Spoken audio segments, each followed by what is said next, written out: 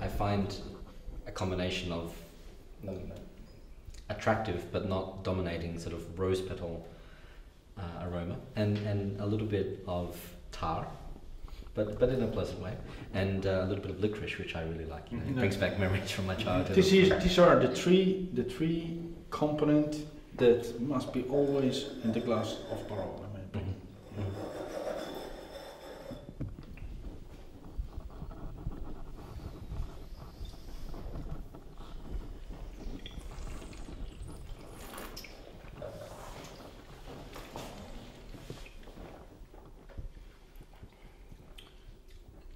Wow.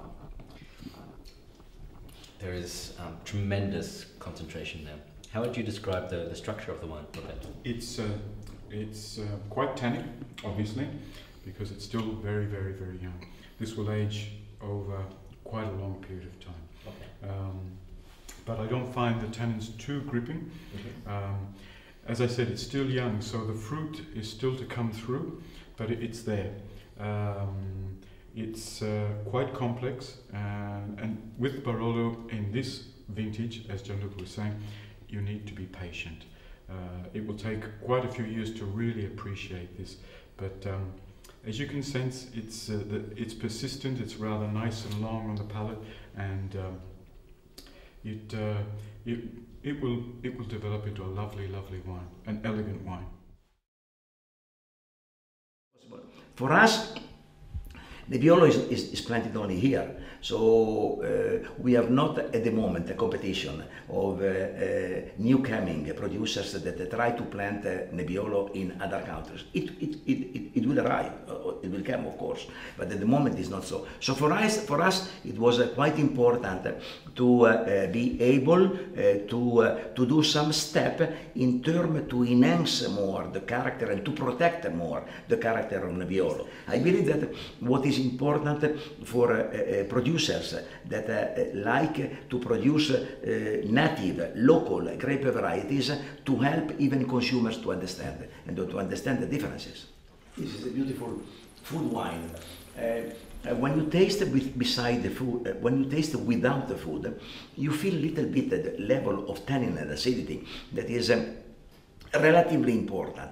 But when and it can, can sometimes it can be uh, even to disturb a little bit.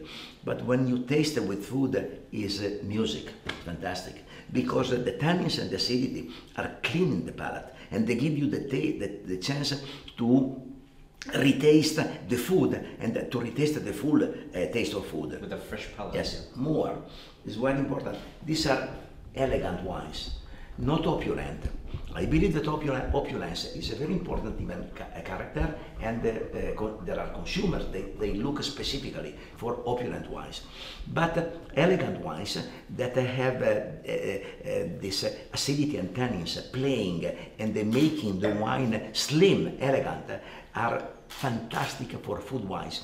Italy is a country that more than other countries has a large volume, large production of elegant wines. Different, made everywhere in, in Italy, in each region, different wines, Taurasi, uh, many, many different wines. And the, the large majority of these different wines, of these wines, are less opulent than other wines, but more elegant. And because of, of, of this, they became fantastic food wines. Okay, uh, Giuseppe, we're about to taste your uh, your flagship Nebbiolo, yeah, your best wine. This is our top wine, I think. Uh, what are we drinking, in fact? The Sudisfà Roero 10G. This is a reserva. Reserva means that it is aged one year more than the normal Roero. For me, it's almost like going back to my childhood, where you know you would you would get licorice from your mum, and this was really intense uh, licorice And uh, I spice. think uh, one best uh, thing with uh, this wine is uh, the acidity. This is important for the life of the wine because it's not only the tannin uh, take a long life in the wine, it's also this good acidity we have uh, in the Nebbiolo. Yeah. I'm, I'm getting some very nice tannins. They, they are a little bit, um, we would say, grippy. Yeah? You know how you shake someone's hand and we would say that someone has a strong grip. Yeah. So grippy tannins, but pleasant. Yeah, they're, they're not aggressive at all. Yeah. But you, you notice them, and, and you know that when you when you see them, in balance, of course, that, that this wine can age for a very long time. I think. Yeah, and uh, it is the thing uh, I have Giovanni Negro when he makes the Swiss wine because uh, you see, okay, I have a little, uh, a small part of vineyard in this type of soil with this clay. I can have uh, this type of tannin with more complexity. I can have more aging. Okay. Fair I can uh, use this for make a really bigger wine.